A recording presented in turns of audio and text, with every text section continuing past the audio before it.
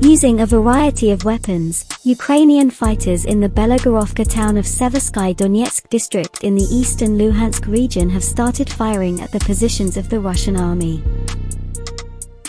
Machine guns and grenade launchers have been used to take down the invaders' armored fighting tools and human resources.